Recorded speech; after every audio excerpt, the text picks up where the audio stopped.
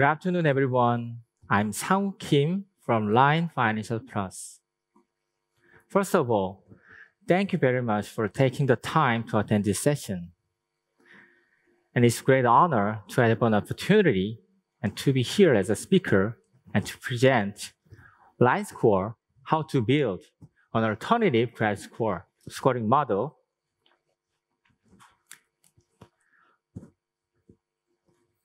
Let me introduce myself briefly. I'm in charge of credit scoring and risk management team at Line Financial Plus as a manager. My team's main responsibility is to develop Line Score, an alternative credit score used for Line Financial services, not only for Japan, but also for Thailand, Taiwan, and Indonesia.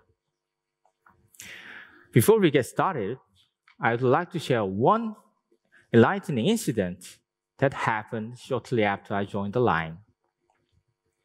Before I joining line, I was mainly in charge of developing credit scoring system at credit bureau, fintech company, and financial institutions. In the financial industry, CSS is commonly referred to the credit scoring system, and it actually means credit scoring model rather than, rather than an IT system. Across the finance companies, using the term developing CSS is a very natural and common way to express that we are building a model. However, I'm here at Line, which is a technology company with a lot of developers. Here I found that the term, the term development is used, to, is used to mean application or server development, backend, frontend, so on and so forth. So when I explained that I'm in charge of developing the credit scoring system, everyone considered me as a developer that developed full stack. It means people expect me to not only develop a model, but also develop all related systems a bit of a cultural difference, I guess. After a bit of a chaos, I was able to clear up the confusion by using the term model rather than system and build rather than develop. Which is I put the title, How to Build an Alternative Credit Scoring Model to this session. Now, let's begin on. This session will cover the following topics in consecutive order. First, I briefly illustrate the key concept underlying credit scoring. And further, I introduce line score as an alternative credit score. Then I'll give a general overview of what credit score is and how to build or develop the credit scoring, how to build or develop the credit scoring model. Continuing on, I will explain how to measure the performance of the credit scoring model, and lastly share with you the key achievement of line score. To understand main topic today, credit scoring model, I'd like to start by, start by explaining the difference between the predictive model and the credit scoring model. Then I'll introduce the concept of alternative credit scoring credit score, such as line score, in contrast to traditional credit scores. The main difference between the predictive model and the credit score model is what you want to predict. While the predictive model may have many purposes, credit scoring model is the tool to evaluate the creditworthiness of a customer. In other words, the main purpose of the credit scoring is to predict which customer are not likely to pay back or simply predict default. Suppose you are building a model to determine which advertisement are shown to users online. What would be the most important of consideration in this case? The biggest goal is to get the most users to respond to your advertisement. And if users don't respond to the advertisement or see an advertisement that is not relevant, you won't have a huge problem. Of course, it can be a problem for advertising staffs and advertisers. Let's look at the case of credit scoring model. When a loan application is reviewed, what would be, what would be the most important consideration? The key is not to lend a customer who is unlikely to pay back. How to lend a customer and how much we can lend are the next questions. If you give a loan to a customer who will not pay you back, you immediately lose as much as the amount of loan.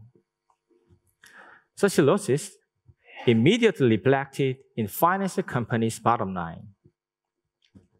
Keep in mind that the building a credit scoring model is very different task from building a generic predictive model. Let's, let's look at the subject of today's session, the difference between the building a traditional credit scoring model and an alternative credit scoring model.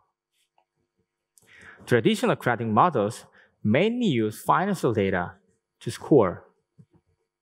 The most commonly used financial data is the history of a loan and or credit card delinquencies, payment history, and so on. Therefore, it is a method that can be used in a relatively developed country where financial transaction history can systemically accumulated, managed, and used. Consequently, customers who do not have past financial transaction history were limited in their access to the financial services when evaluated by traditional credit scoring model. In contrast, alternative credit scoring models typically use non-financial data for scoring. Since almost everyone uses smartphone, the activity data generated from mobile platforms are available. You can now measure customers' creditworthiness even through transactions from shopping, payment history, telecommunication, telecommunication usage information, and SNS usage pattern. Because of its wide data availability, it can be used in almost any country, regardless of each country's financial landscape or its infrastructure. Even if a customer has no insufficient financial history, you can effectively measure customers' creditworthiness.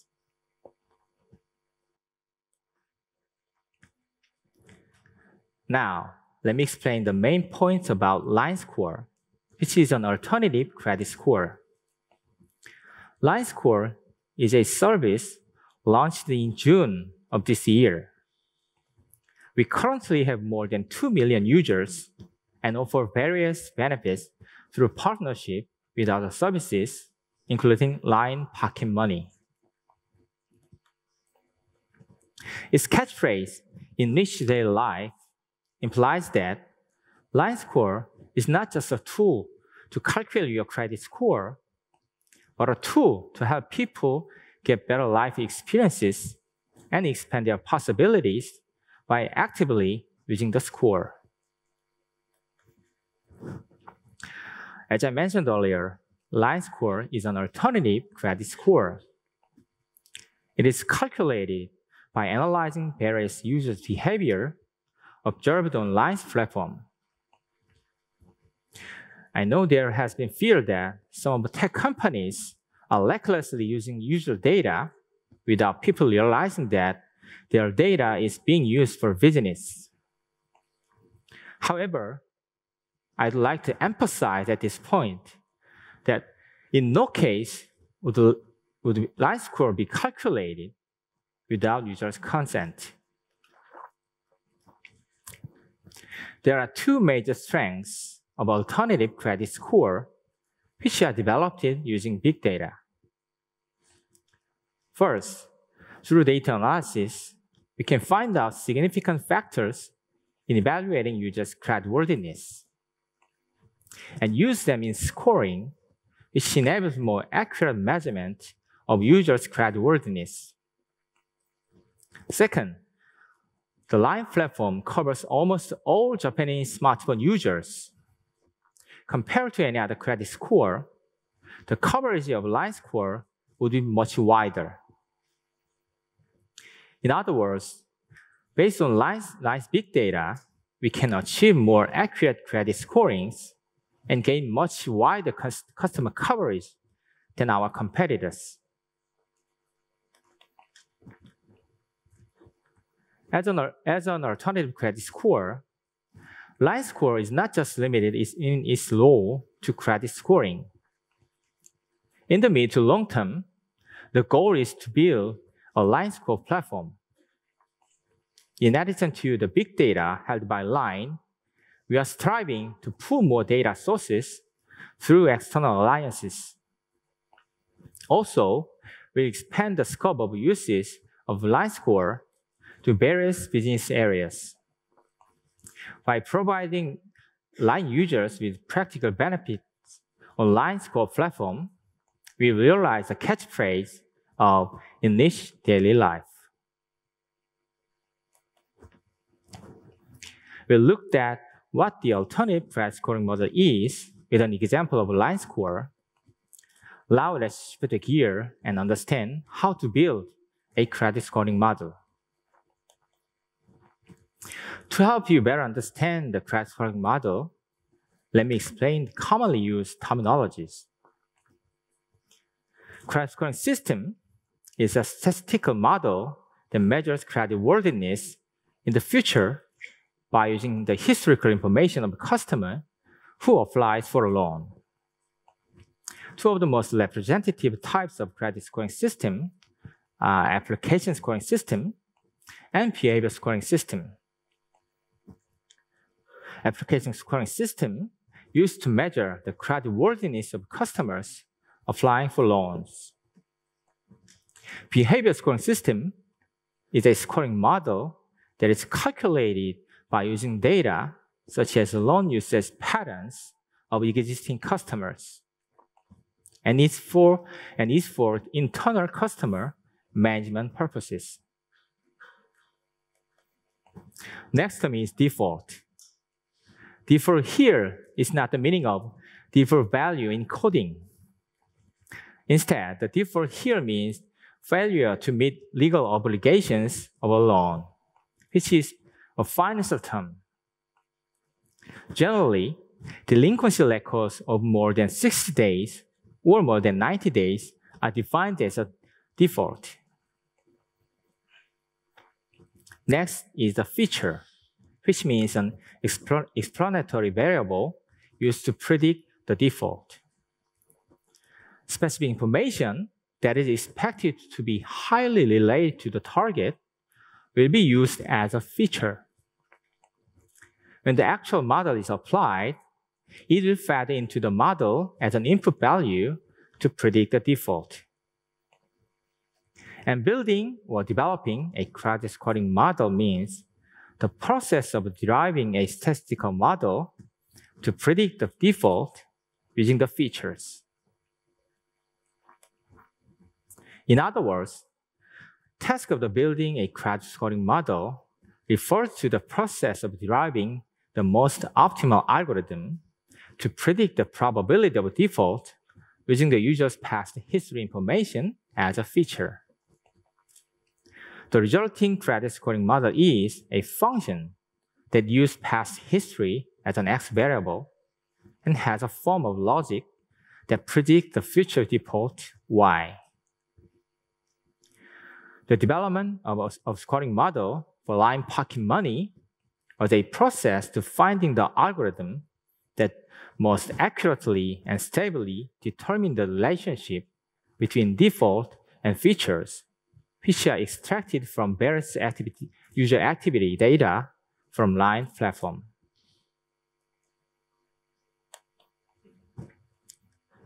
The model developed in this way a function is applied at the time of loan screening in actual financial services, such as line pocket money. Through the chosen algorithm, it'll tell you the possibility of default based on the features selected at the time of model development.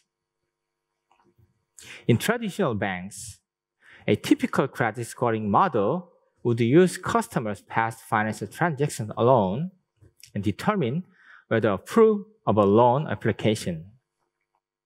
In contrast, Line Pocket Money, released in August, allows for more effective screening as it will not only utilize past financial transaction history, but also, use, also users' behavior pattern on Line's platform.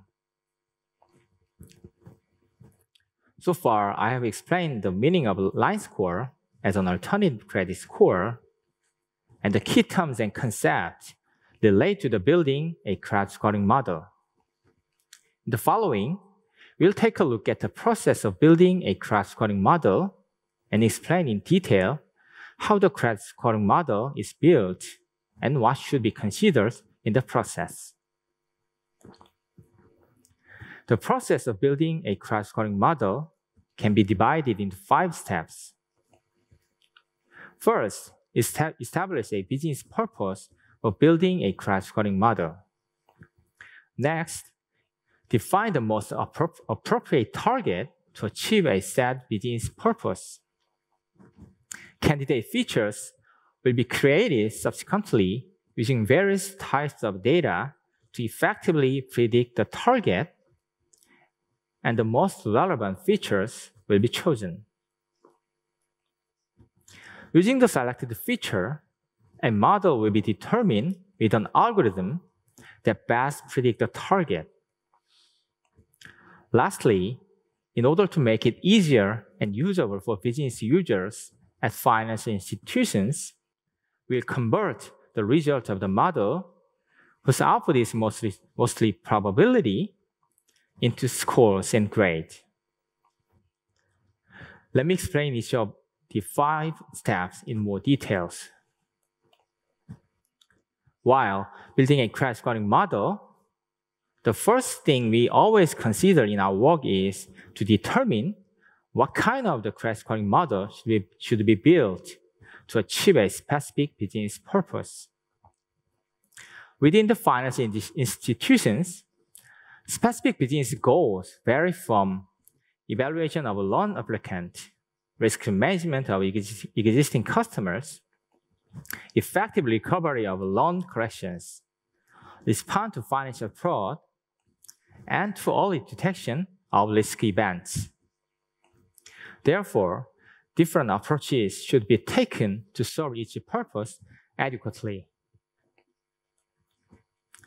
Once a business purpose is established, you must set the most suitable target to make sure that the business objective can be achieved. How to set up the target is the most important process as it will set the direction of the credit scoring model. Technically, no matter how well the subsequent process is done, if the direction is not set properly, the business purpose, purpose won't be achieved.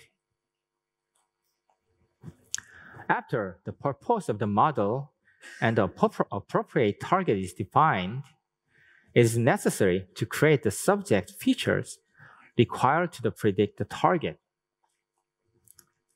After obtaining raw data, we have to create as many features as possible that highly relate to the target and are expected to have a high predictive power. And then various selection criteria will be applied to finally determine the features to be used in the credit scoring model. After the target and feature are determined, we'll explore a number of algorithms that predict the target in the best possible way. Traditionally, applying the logistic regression algorithm has been the most common method for building credit scoring models. However, in advancing big data availability, data processing, and analytics capability, machine learning algorithms are also being actively used in recent years. Considering above factors, the most appropriate algorithm is applied and the model is finally determined. The final value calculated from the scoring model is usually the probability of a target event occurring. This probability value is converted to scores and grade to make it easier for business users at finance institutions and or customers to understand and interpret. Subsequently, I'll explain five steps of model developing model building process in more detail. As mentioned earlier, the most representative of models used for credit risk management is the application scoring model used for loans for loan, uh, screening loan applicants and behavior scoring model used for risk management of existing loan customers. In addition, financial institutions have developed and used the credit scoring models for various other purposes. Collection scoring model is developed to collect overdue amount on a loan more effectively. Fraud detection model is to proactively detect customers with highly potential for fraud. An early warning model exists for detecting and responding in advance to major risk events. Depending on its business purpose, different models should be defined, built, and utilized appropriately. Once you have a clear purpose for your model, you need to set up the appropriate target accordingly. Since the application scoring model and the behavior scoring models are models for predicting default possibility of a loan applicant and existing loan customers respectively, we usually set the default as a target. In other model, the target definition might be different for example, the purpose of the collection scoring model is more effectively collect delinquent debt. The recoverability is often used as a target. Fraud detection model will be used fraud occurrences as the target. Early warning model will use events related to the credit risk as it aims to detect early, early before an event occurs.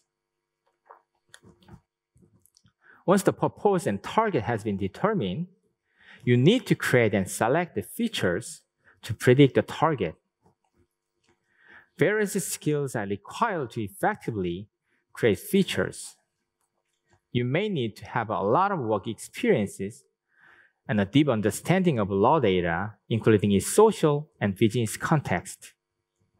In addition, it is very important to create as many features as possible with sufficient imagination while considering the relationship with the target. Let me give you several examples of creating feature. And the, and the examples of this slide are based on my imagination on, my, on the assumption. The first candidate is a type of mobile phone. I would anticipate that customers who use the latest and high-end smartphone have more spending power, and their creditworthiness will be higher. The next one is the frequency of received or sent calls. I guess that a lot of calls received or sent could indicate active social interactions, and it might be relevant to the relatively high level of creditworthiness.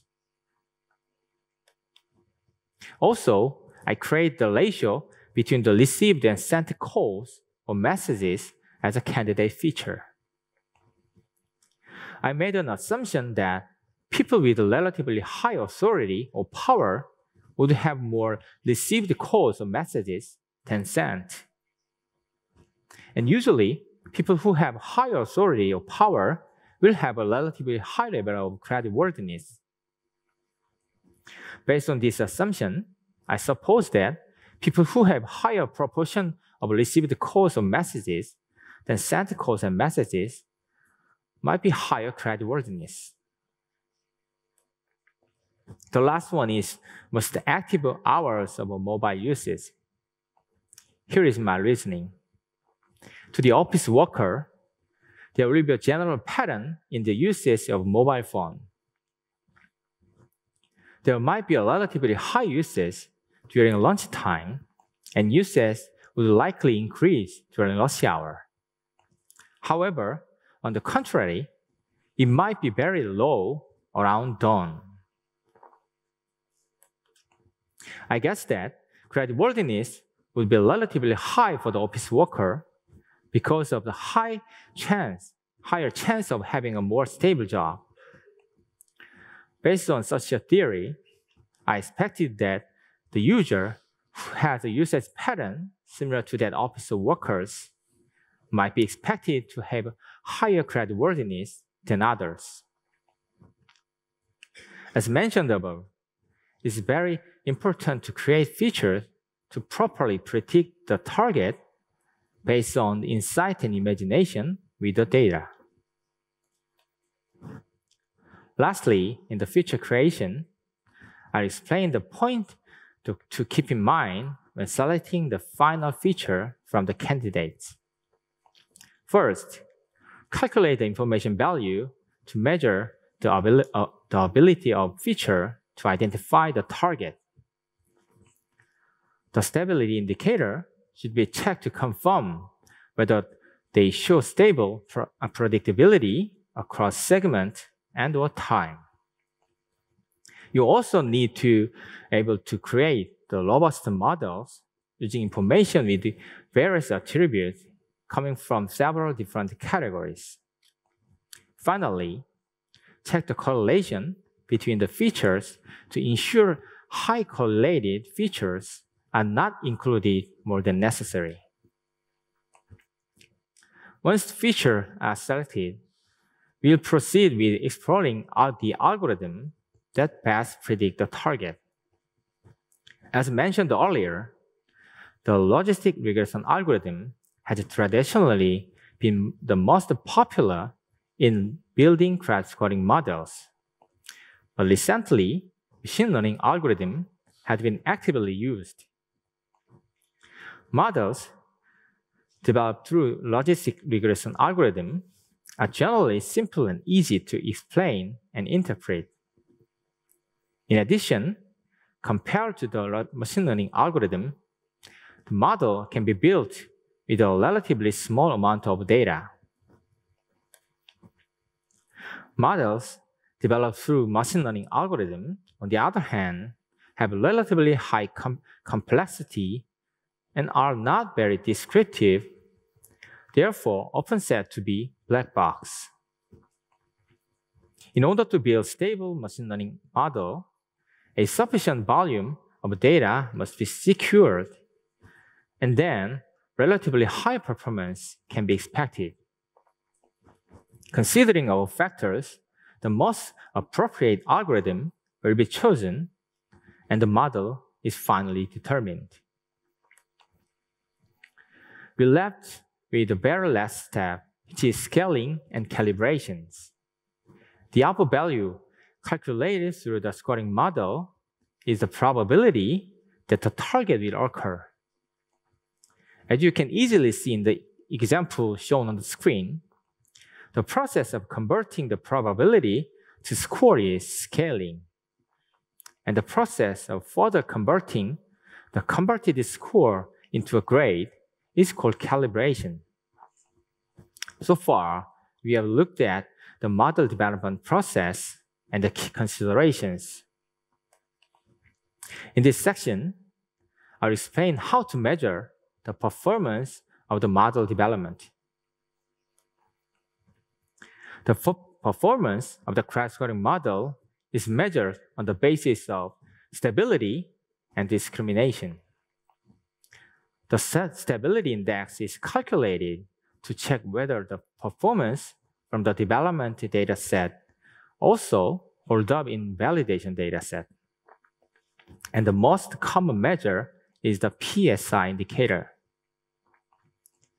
Discriminative power is a quantitative indicator of how well the target is classified statistically. And the most commonly used metrics are AURC and KS indicators. In this session, we'll take a closer look at the AURC calculation, which is a method to measure the performance of a model. AURC stands for area under the RC curve. The RC curve of the developed model is shown here in blue. And the area under the blue curve is calculated by the sum of areas A and B. For those of you who, for those of you who are not familiar with the RC indicator, I will help you understand the simple example. Suppose that there are total of 100 customers, among which there are five default customers in total. Let's suppose that the scores calculated through the developed model place these five default customers at 5th, 10th, 20th, 25th, and 30th percentile in ascending order of the scores. For comparison, the RC curve of random model, which determines the default customer at a constant rate as the total number of customer increase, will be shown here in the red dotted line. In contrast, the RC curve of a perfect model, which is shown as green line, will give the lowest score to all five default customers, and hence everyone will be placed at the fifth percentile. In the developed model, the fifth default customers is located at this point, followed by 10th, 20th, 25th, and 30th percentile. Therefore, will make the RC curve as shown in the blue line. As a result, the AURC value of 0.85 is derived when areas A and B are added. For reference, using LINE Score, when using LINE Score, in addition to traditional credit scoring model using financial data, we expect to the AURC index to improve by about 20 to 40% compared to a traditional credit scoring model alone. Last but not least, I'll explain what you can expect from developing and using LINE Score. First, we can offer various benefits based on LINE Score. LINE Score users can now use financial services on a more reasonable basis when applying for a loan through, through the Line Pocket Money. In the future, we'll provide more benefits in partnership with various financial and non-financial services. LINE Score can also increase accessibility to any, any other financial services Users who have not pre previously had financial transactions can use financial services based on LINE Score. Finally, we can save costs for customers. LINE Score is able to provide real benefits by reducing financial costs by providing better financial services such as more reasonable loan terms and interest rate. By developing and utilizing LINE Score as an alternative credit score, we expect to provide significant benefit to our users and enhance line finances competitiveness in financial services. This concludes my presentation. I hope that my presentation today will help you. Thank you for your attention. ありがとうございました。